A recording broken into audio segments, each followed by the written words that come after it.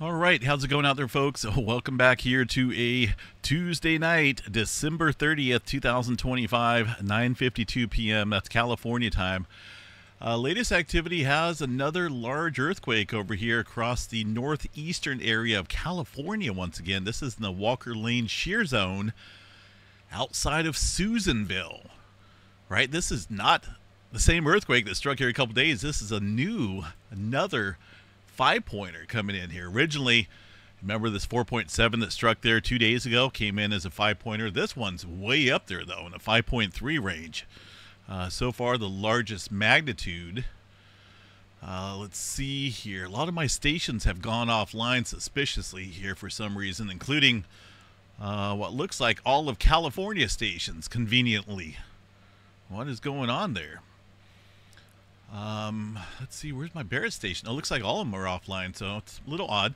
It looks like they did downgrade this here to a 5.1. Either way, that's still the largest earthquake uh, in this sequence of events. Still underneath automatic status.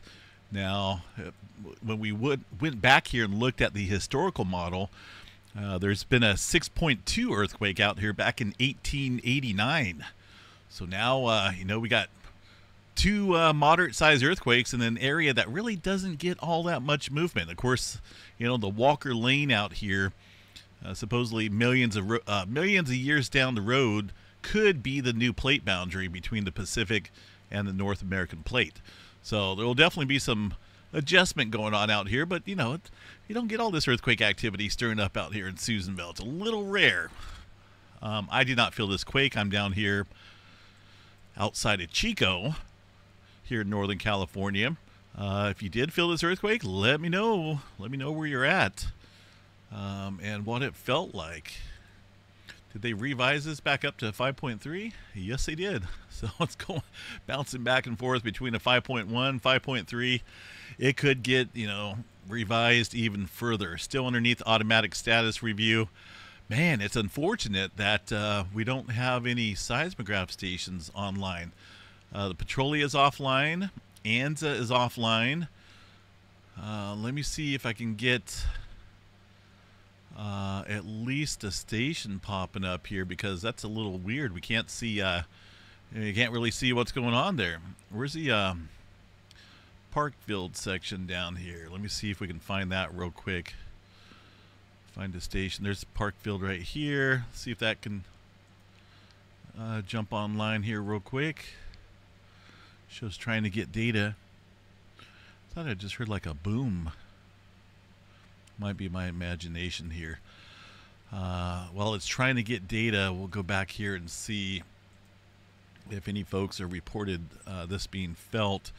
It does look like there was a shake alert sent out here uh, with a event magnitude of a uh, let's see here. Initial was 5.7. Uh, peak was 5.4. Final came out as a 5.3 magnitude. Here's some of the seconds out here in terms of the uh, the time you would get that alert message from the time you would feel some shaking. That's pretty decent there. You know, to have a 20 second, even a 10 second notification, zero seconds there, probably around the Susanville area. But uh, that's an interesting quake here. You know, I do think something bigger is brewing out here across the uh, area.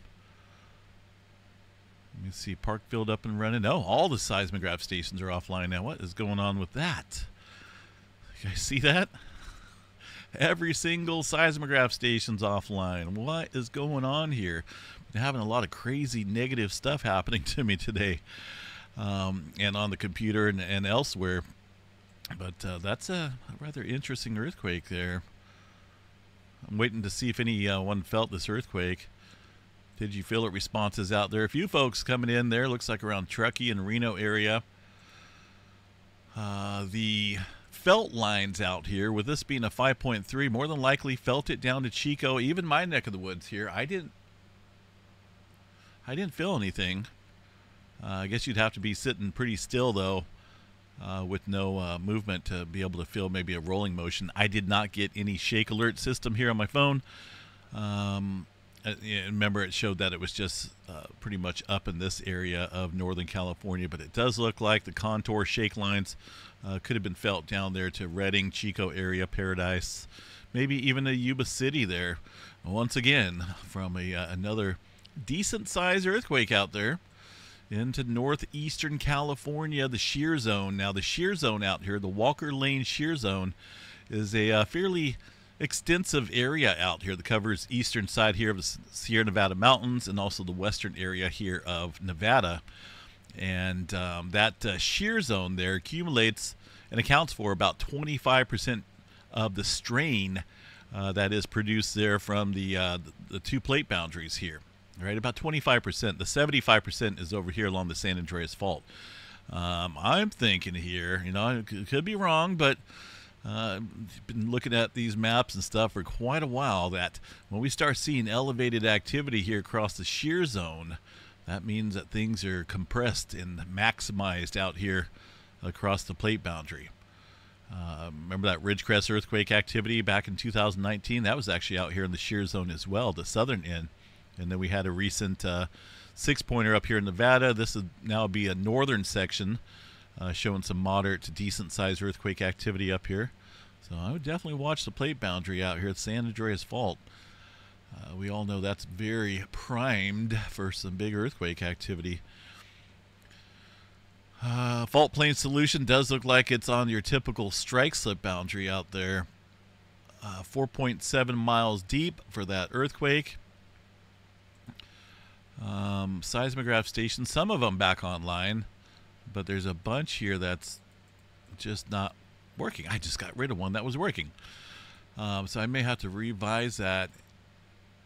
I got to find something that works out here to be able to see um, what type of signal showed up there. Let me see what we got up here in Northern California. The Petroleus, let's try Pepperwood. I think that may work. Nope, even trying to get data, no data. So go figure. A lot of the uh, stations out here are offline for some oddball reason. Thorn Junction. See if that one's going to work or not. Trying to get data as well. So, wow. I, you know, normally I have the seismograph stations here to look at to see how big of a signal that is. Uh, but I'm certainly not going to see it on the Turkey or the Philippines station or Japan. So I'll have to work with this here uh, after this video update. But uh, for now, uh, another 5.3 earthquake. The other one, remember, a couple days ago got downgraded there from the 5.0 status status to a 4.7. So this marks the largest earthquake so far, and there was a number of aftershocks in here as well.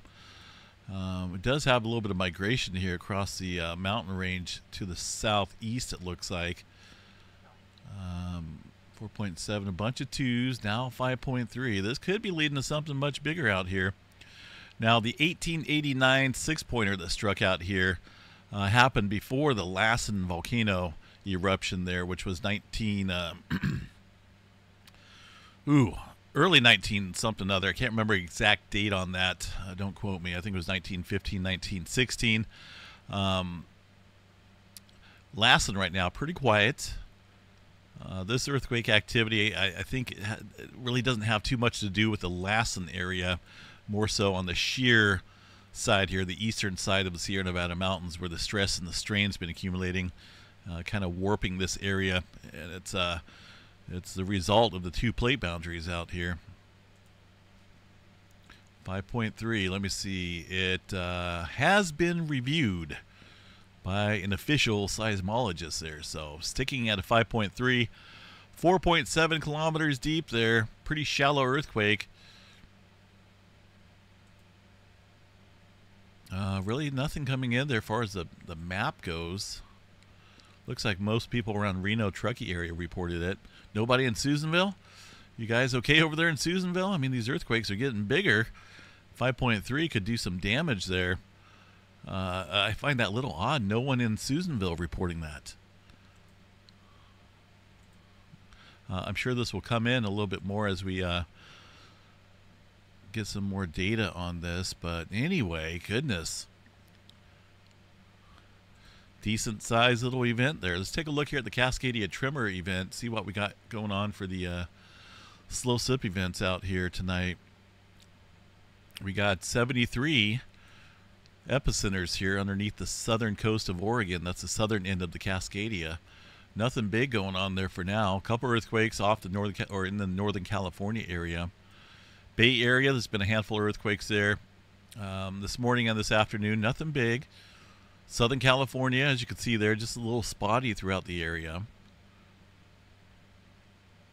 Uh, looking at the global view of things, that's crazy, just sticking out like a sore thumb there.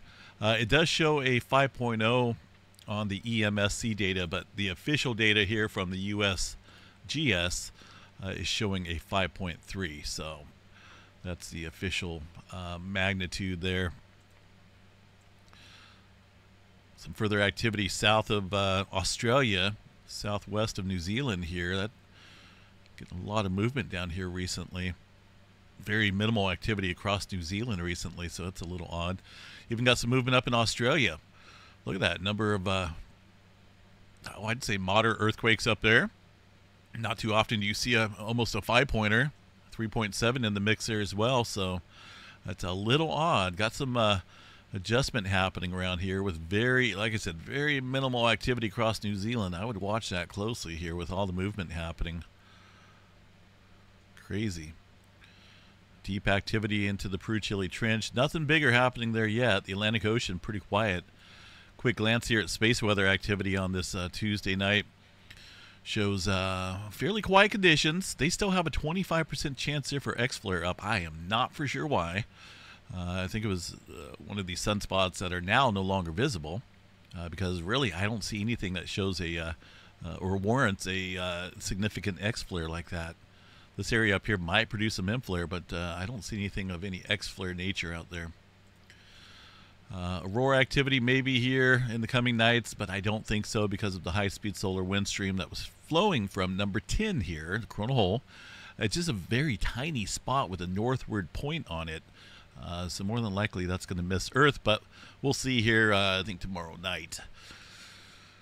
Um, and also, real quick here, folks, uh, if you didn't hear, I uh, I started up here an important GoFundMe for my dog here. I I normally don't ask for some help, but this is pretty important. Uh, my dog uh, comes to find out now, it looks like he's got a blockage going on. Uh, he's got emergency surgery going in tomorrow. Uh, so he's overnight there at the vet, surgery first thing in the morning. Um, and I don't know exactly what he ate. Um, he has been having a lot of chicken treats here, like chicken jerky. Um, so maybe he's eating too much of that without um, bringing in, you know, moisture content from that that dry meat. Uh, so I definitely will have to cut that out. I'll find out more information tomorrow after the surgery and everything. But man, this is uh, uh, definitely was not prepared for some type of emergency vet bill like this. And uh, the folks have donated out here 62 people. Uh, man, I'm super grateful for everyone donating out here. Uh, we're at halfway. I believe we're at halfway. Let me see if we, this has gone up any. We're past halfway right now, so 65 donations there. Um, and if this uh, if this doesn't get used completely, I'm, I'm, pretty certain though that it probably will, considering surgery with vets are really expensive.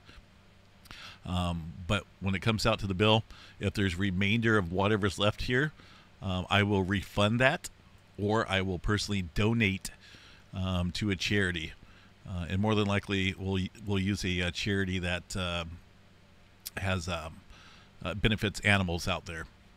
I think that would be a good way to uh, donate uh, if there's anything left from that. So I'm just letting you guys know. And anyway, I appreciate everyone. Uh, if you can help donate, please do. Even if it's 10, 20 bucks, man, it's very helpful. Um, if if you can't, I understand. Maybe share that uh, if you could that GoFundMe account. I'll include that here in this update video. So I appreciate it. Uh, got me pretty worried there with my dog. He he uh, hasn't been able to go to the bathroom. Um, really not eating or drinking anything. He's trying to drink stuff, but whenever he drinks water, uh, it comes up there and it has like some type of green uh, mucus stuff. And uh, from what I hear, it's not poison, which is good. Um, but the blockage there could be very life-threatening if it's not taken care of immediately. So that's going to be uh, worked on here first thing in the morning. But I will keep you guys updated. Uh, in the meantime, please stay safe out there. Decent size event, you know. It's 6.6.2 struck out here, well over 100 and uh, 136 years ago. Um, pretty crazy. Interesting earthquake activity out there for sure. We'll watch this and uh, report back on anything. If you felt it, please let me know where you're at, what it felt like. Uh, maybe if you got an earthquake early alert notification system on your phone. Uh, and by the way, you should definitely download that if you live out here uh, anywhere along the West Coast. It's called My Shake. It's simply that, My Shake, and you'll see it. It's free. Uh, it, uh, you know it sends out early alert notifications when there's an earthquake in your area that you'll probably feel. Uh, that gives you some time, you know, 10 seconds, 20 seconds there, depending on your location. I think it's a, a definitely a good app and a must to have on your phone. All right, um, and I'll try and get these uh, seismograph stations up and running. It looks like they're all offline, so I may have to do a reset on this. Anyway, folks, um, appreciate all your positive thoughts there on my dog Chomper. He's been uh, with us for six years, and uh, you know it's a little scary there. Um, but I'm I'm hoping and um, hoping everything will work out tomorrow here. Have a good night, folks. We'll see you guys out here in the morning um, for the see here. It's going to be Wednesday. I've just been out of whack here today with everything going on. Wednesday morning update. Take care. Have a good one.